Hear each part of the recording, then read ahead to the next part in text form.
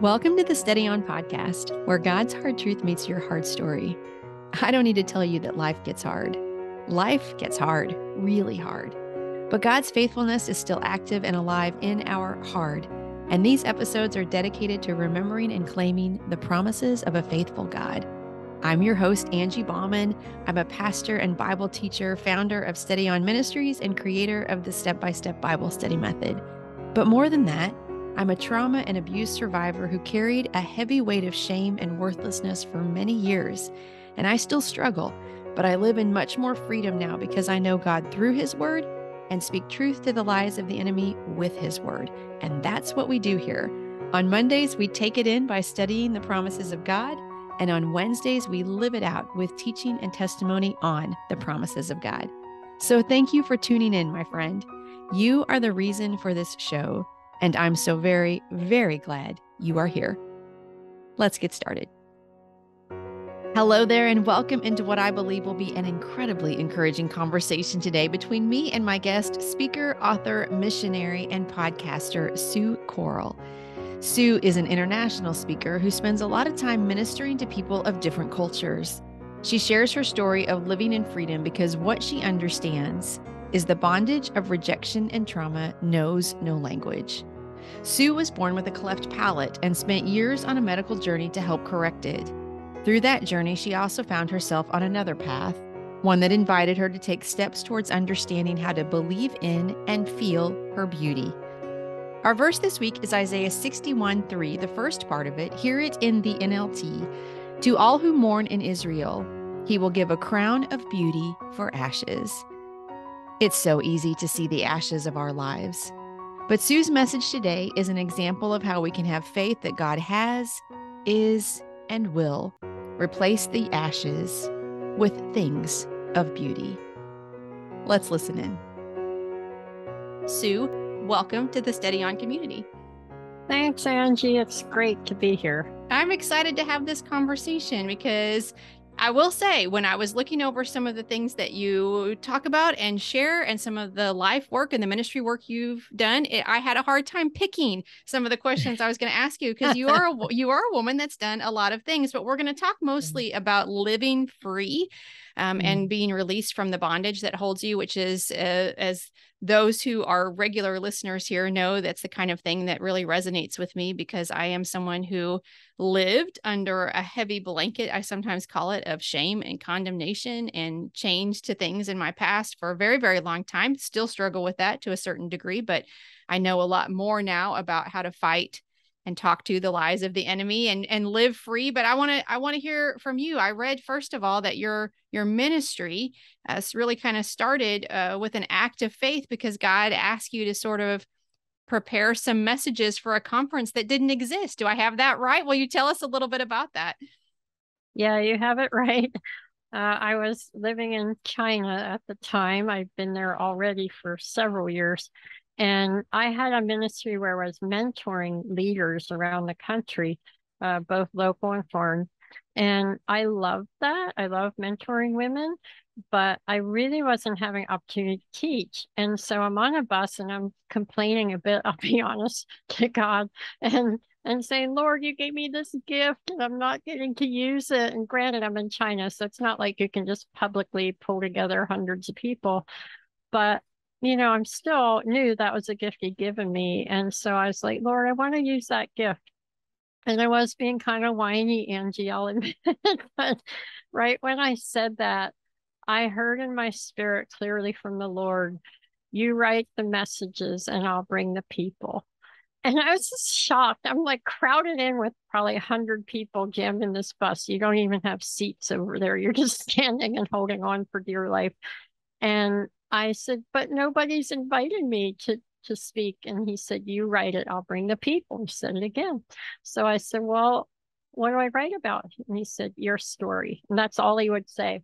And unfortunately, I didn't jump right into it because I have very young kids and I kept getting distracted with life and my job and all that, my ministry. But after when uh, September came along and I did my annual, what do I do this year, Lord, getaway?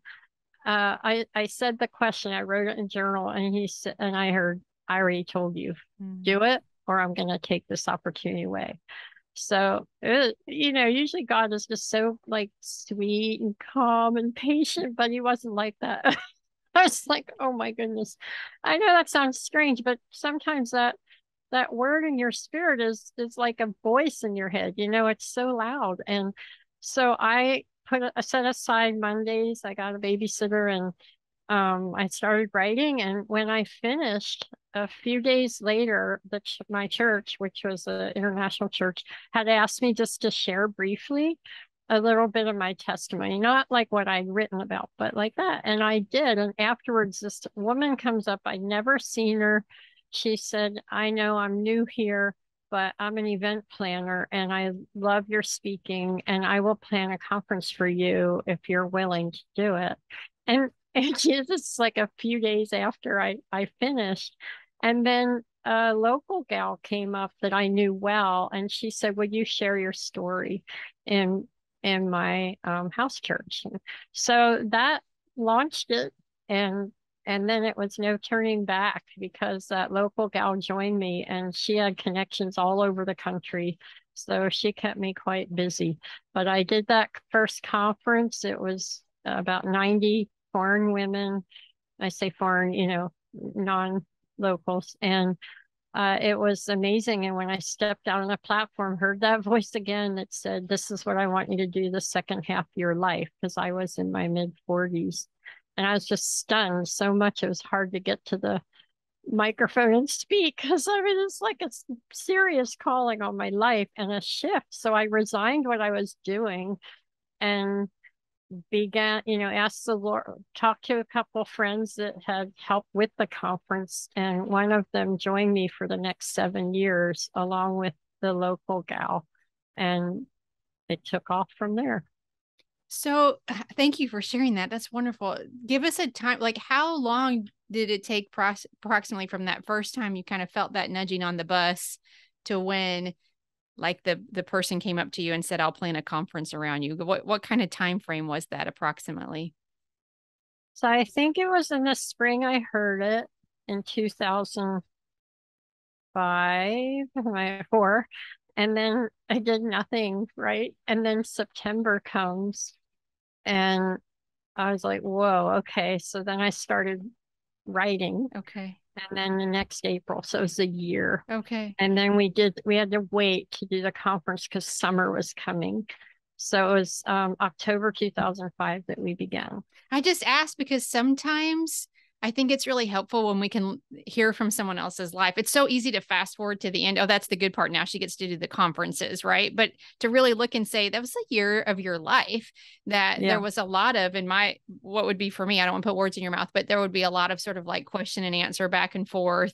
I spent time doing this, still nothing is happening. Now I some time has passed. I haven't spent time doing it. Like there's a lot of this as we're stepping out in faith it's just not we want it to be linear right sometimes yeah. and so often it's really not and i just so i appreciate you sharing with us that yeah it was it was a process even though even though you feel like you had heard him very clearly it still was yeah. a process before something well, came to fruition it is it you is. to sit down and you know i'm like you i really dig deep into the word and so i did i wrote out and and again i feel like the holy spirit just led me because as we see the fruit of that and then i wrote a bible study to it four years later because the church asked me to do that. And it's the same thing. I go back and i i look at this study and i see the transformation. It's called crown of beauty 12 week bible study. It's on amazon. And now we have it eight languages. And the transformation that comes into people's lives from this and i still teach it and i'm still convicted and I'm like, did I really write this? I mean, it, it really was a work of the spirit. Yeah. And um, same with the conferences. I've trained women um, all around the world and in different languages. They're doing it themselves now. They're teaching that. I give them the PowerPoints and they translate it into Arabic or French or Spanish or Chinese or uh, Bangladesh, or what else do we have? You know, all these different languages, Ugandan languages, they have 32 languages. So they just translate orally. But um, it's exciting and I know that it's God, but it is hard work. And the, the, I mean, I get what you're saying. Where I get what you're saying, Angie, is that I, every fall I come and I have nothing scheduled. There's nothing scheduled. And I just go, I don't know what you want me to do, Lord. And I've, I, if I start trying to do all the methods that you do and, you know, get the podcast to tell you what to do to get conferences. It, it doesn't happen. And then he just says, you just need to wait on me and you need to pray. And and every year it fills up. It's been going since 2005, but every year I go through this again and I am once again. But then sometimes when it doesn't fill up, you go, oh, you know, one of those times was because my brother passed away. Another time was my stepfather passed away. Now my mother is passing away. And I don't say that lightly. It's really hard. She's just a couple weeks away. Mm-hmm. But it's like, well, of course you would cancel that, you know, and not have anybody sign up. However, I did have to cancel 11 conferences during COVID. I did have that yearbook and um, but all those people are committed to continue in it. Yeah. Yeah. And I appreciate that. I appreciate you saying that because sometimes we look at other people and their success, maybe, and we say, mm-hmm. well, they must not feel that way anymore. They must not have doubt, or they must not question God, or they must not have imposter syndrome, or whatever the case may be. Um, but it's refreshing, I think, sometimes to be like, no, I don't think it's always easy to look at someone else and feel yeah. like, well, they have it this way and I have it this way. But so I appreciate your honesty around that, that it's still sometimes a struggle for you. But um, I know that part of your passion then, and we talk about this like is helping women be released from bondage and i know that that relates in your own life to your own experiences of bondage and so would you talk to us a little bit about some of the rejection and trauma that has been a part of your life and how it relates to the medical journey that's been a really big part of your life? Sure. So when i was born i had a severe cleft palate so i had no nose no palate no upper lip all kinds of breathing issues, trachea issues. I had 26 major operations during the first 15 years of my life. The first three years, I pretty much stayed in the hospital. Uh, the doctor sent me home to die after I was born. Said we can't help her. We can't get food into her. She's too weak to operate on. She'll die on the table. My mother took me home not to die. She was a pediatric nurse. She had been caring for cleft palate babies for two years because that doctor was the leading doctor for cleft palates in the country. And so she, God had prepared her. She had specialized in that. So when I came along, it didn't freak her out. It was like, well, of course, you know what I'm saying? It was like obvious that that, that was God's plan. So she took me home and found a way to get food into me. And after three months, I was strong enough to go back. And she insisted that the doctor operate, and I survived. So the harder thing for me, of course, that was pretty rough physically and a real challenge on our family. But for me personally, it's when I went to school. And you can imagine that's when all the teasing begins. Uh, my brothers protected me before that. No neighbor deer crossed the line with me. but in school, they couldn't do that. So I heard every day, especially from boys, that I'm ugly, that I look like a dog, that I'm rejectable, that I'm unlovable. And so I came to believe that deep in my heart, if you hear that enough, despite what my mom would try to affirm me. However, my mother's affirmation and girlfriends really helped me to feel like I was presentable and lovable to women, but I couldn't feel that with men. And so I went into my adult life. Uh, I became a Christian at 15. My mom was a Christian, but she didn't really know how to share that, and she had to work on the weekends and my dad was not a Christian. So uh, I didn't really grow too much until halfway through college. And then I got involved in um, Campus Crusade for Christ. And that really helped me and graduated and joined their staff and was able to learn and grow a lot. But I found as I got into ministry that I didn't act the same towards men that I did to the women. To men, I was kind of like a drill sergeant. you know, like, well, how are your quiet times? And, you know, that kind of thing. And, and I realized, wow, this is weird because to women, I'm so loving. And our women's ministry exploded. It was like three times the size of the men. And I was like, something has to be done here, something not right. And so I began to get some counseling that helped and to see the root, you know, of all this. But I, I still didn't understand the thing about the lie. I did understand I was hurt. I had to bring forgiveness into my life to those boys and even to my dad who had left us when I was 11. So I saw saw a lot of healing and that helped. But it was really, and you'll appreciate this, Angie, being a woman of the word. It really was in my 30s. I was already married, already had young kids, and I was studying Philip, uh, sorry, Psalm 139, 13, 14, of course, I was studying the whole psalm, which I loved until I hit 13 and 14. And I, I realized like my whole life I've been rejecting those verses. It's not mm-hmm. the first time I heard them. In fact, I heard them the very first sermon I ever heard and I rejected it. And see, God was trying to tell me from my beginning of my Christian birth. But anyway, I I dug deeper into Hebrew and I discovered that fearfully really means that I'm creating the image of God, that I reflect who God is to others. Well, I knew God's beautiful. I knew that he's awesome. I knew that he's wonderful. And wonderful by the by the way, I found out meant that we're unique. And so I realized on that day that, oh my goodness, the truth is I can't reject it anymore, that I am fearfully, wonderfully made, that I am a, re- I'm a reflection of God's beauty and wonderfulness, awesomeness, um, you know, and all the other wonderful talents and gifts and character that I have is a reflection of Him. And I'm unique from anyone else, and I'm not a mistake.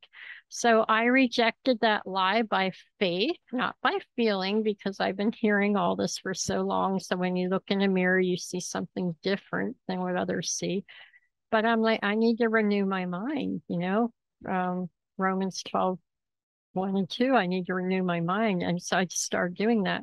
Well, I think I only went, it might even been that day or in that week. I was walking my dog and the voice came back. I suddenly just heard, um, Sue, you are so beautiful to me.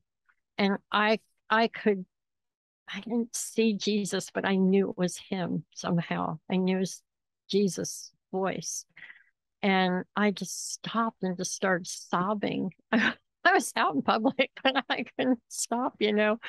Um, and it just changed my life. And so anytime the enemy tries to throw that lie back at me, I just go back to his his word and say I I'm not accepting that. I'm uh, other people could even think it, you know. I mean, some might, that's just how it is, especially guys, you know, I don't have a certain look or whatever. But to me, it doesn't matter because the smartest one of all is God and the Lord Jesus and our Heavenly Father. And He says, I'm gorgeous. So, hey, that's good enough for me. and He's my bridegroom, He's the lover of my soul. And just like I only want to, you know, man human man wise, I just want to be beautiful in the eyes of my husband, which I am, and my son. He says that too, and my daughter. They're so sweet, and lots of my friends. But I'm just saying, you know, because I have that truth from God, and that's what I cling to. I love that. It's so practical and so beautiful the way that you've described that. And I think I, I could feel myself the tears in the back of my eyes because I know what it's like. I know that voice too, that thing that you're maybe worried isn't the right word, but that that deep longing inside you, the yeah. one place that you're not sure, you're not sure if you're okay enough in that one place. And the Lord just very personally with scripture and with his love song. I love Zephaniah 3:17 that talks yeah. about how he rejoices over us with singing and dancing, right? Like and I have a hard time picking that up. I have a hard time believing that, but he brings it back to me and he reminds me and he says this is my truth over your life, you know? And that touches that place that you're talking about, that deep longing yeah. for that thing that maybe other people in the world have tried to say, you're not enough right here. And he says, "Oh no, that's not my that's not i'm the smart one as you said so well and i say it's otherwise yeah yeah you'll appreciate this um, that verse that you just shared uh, when i was getting my master's in counseling one of our assignments was to write about the most um, shameful moment in our life what a lovely assignment. Yes. So I started doing that, and I had actually been um, sexually assaulted in college, and that was by far the most shameful thing. But so much so that I had really forgotten it. I mean, I honestly had. And when I started the assignment, I knew that oh, it was an uncomfortable moment. That's all I can remember. But as soon as I started, it just all came flooding back, and all that shame came with it. And I'm crying. I said, Lord, I, I don't, I, I don't even feel like I can look at you. And and I hear Zephaniah 317. And I didn't know that verse, Angie. I had read it once, apparently it was underlined, but I didn't remember it. And you know, it's a hard book to find. And I'm like, second Zephaniah 3 7, what is that? I looked it up and it's what you said, right? How um he sings a love song over the over me right and he saves me and all these beautiful messages and his his love and i i i thought this is the most awful moment in my life and you're telling me that you're singing a love song and it was so healing and really took all that shame away. Yeah I appreciate you sharing that. I, I really do, and I, I I do identify with that so much because there are just times, like I said, I have a hard time receiving it, but I believe him and I believe his word, and I love what you said before uh, that we can reject the lie by faith, not by feeling. And so, mm-hmm. because I believe you, because I believe your word, and I believe your promises in your word, I will say actually, even though I don't feel like I'm worthy of being sung over or that I am fearfully wonderful made or that I am beautiful or good inside. I don't feel that way right now, but right. I believe it because you say it, right?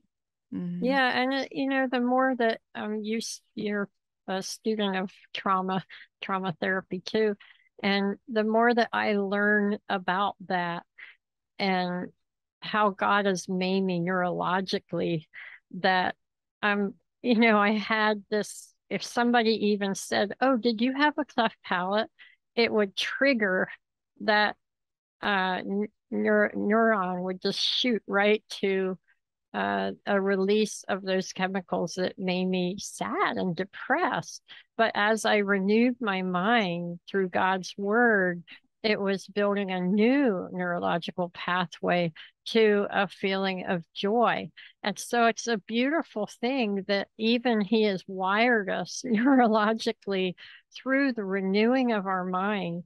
And it's not just positivity, right? When Jesus was tempted in the desert, He didn't just say, Oh, go away, Satan, you have no power over me.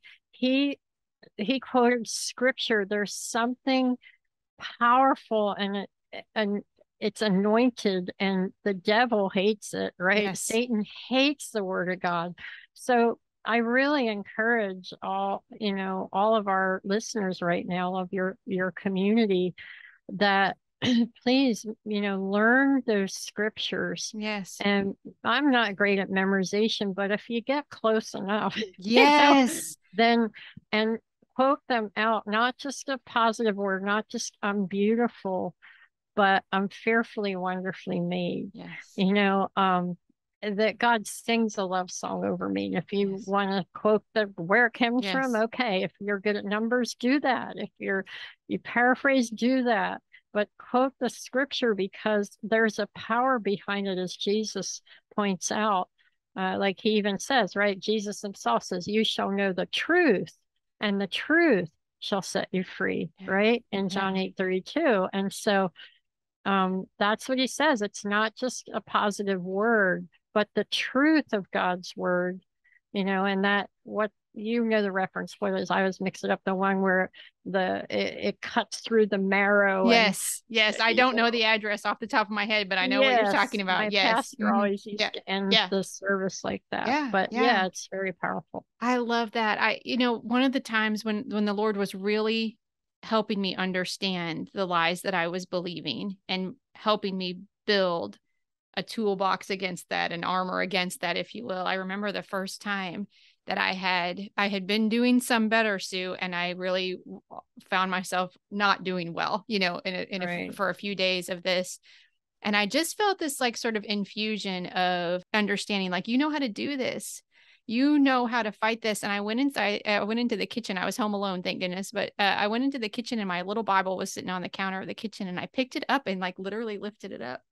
And I said some of the things that you're saying, I will not believe this, you know, and I said it out yeah. loud because yeah. I am fearfully and wonderfully made, because I have been bought with a price, because he does sing over me, because he's promised never to leave nor forsake me. And I just started rattling stuff off okay. in this like, um, this string of promises you know? I did not say the addresses you know but i this string of promises. And i won't ever forget the physical change in me. Like there was this mm. sort of mm. like release. I think it was kind of that those you know in my brain that sort of like those that popping of a different mental yes yes. And i won't ever forget that. And it taught me something about what you're saying that there's real power when you speak this out loud. And when you know, again, to go back to your words, that I reject this lie, not by what I'm feeling, yeah. but what I know to be true. Yeah.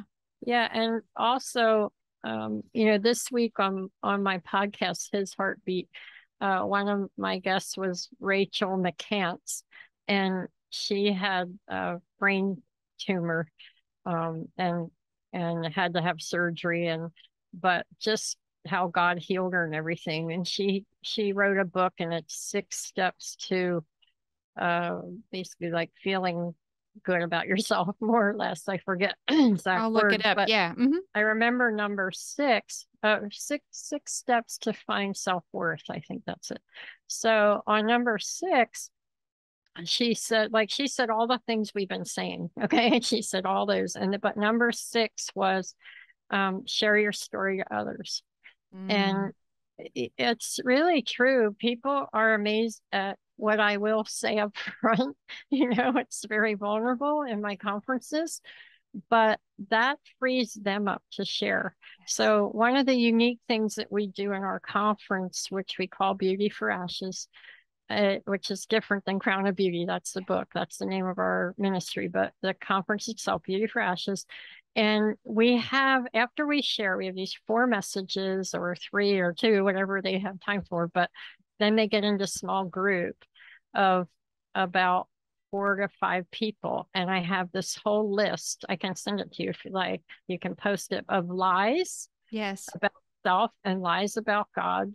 And then it's five pages of truths from the scripture to counteract that. But we ask them in the group, to underline any of these lies that sometimes the enemy speaks to you, you hear it in your head. And it probably came, you know, all the way back from childhood. We talked about that. It's the first time that that came into your life. And then we're going to pray. And we have these prayers in case people don't exactly know how to pray. But basically, they're just praying. And I reject the lie that blank, you know, I'm ugly. I'm not good enough. I'm uh, useless. I'm worthless, whatever it is or the lie about God, because we can believe God uh, that there's this when we have trauma in our life or tough times. Where was God? Okay, I'm all alone. He abandoned me. He doesn't love me. I'm not good enough. He's punishing me, whatever those lies are.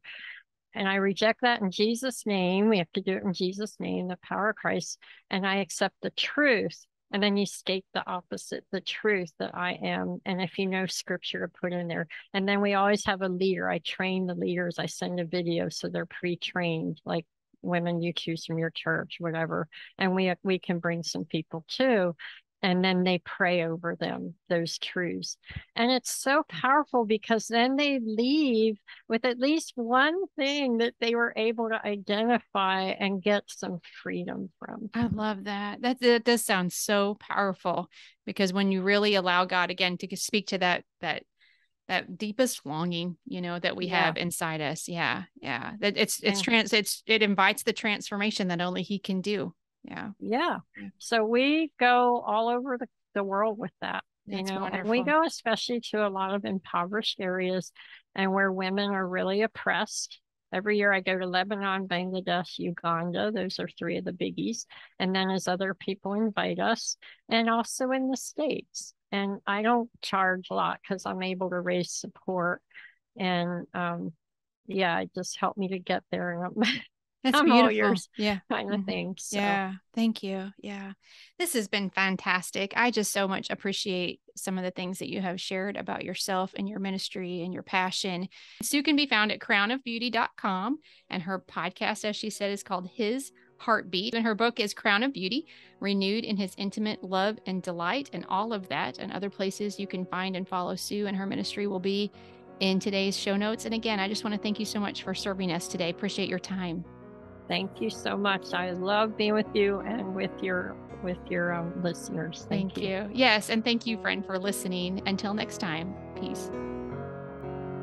A big thank you to Sue for sharing her live it out story with us today. Friend, it's so important for us to believe that because we are children of God, we are beautiful. We are created in the very image of God. And I appreciate that reminder from Sue so very much today. Again, our verse this week is Isaiah 61 3, the first part. Hear it in the NIV. And provide for those who grieve in Zion to bestow on them a crown of beauty instead of ashes. And if you haven't yet, I encourage you to listen to Monday's Take It In episode, where I focus on the word bestow. Next week, our Take It In verse will be 2 Corinthians 1 3, that reminds us that God comforts us. And my guest will be author and speaker Jody Rosser. Jody joined me to talk about walking through a series of losses a baby, a marriage, and a dear friend to cancer, and how leaning on Jesus brought comfort and help for her hurting heart. If you haven't yet, I'd be so grateful if you would subscribe or follow the podcast on whatever directory you use to listen. It only takes a second. It helps the show so much, and it guarantees you'll see new episodes as soon as they drop.